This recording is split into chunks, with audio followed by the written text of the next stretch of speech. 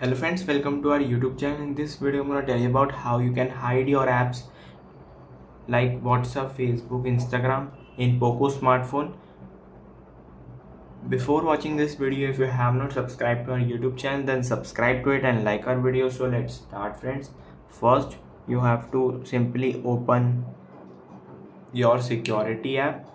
Swipe down. Here it is hide app. You can see facebook it is hidden now. You have to select facebook and instagram also like this.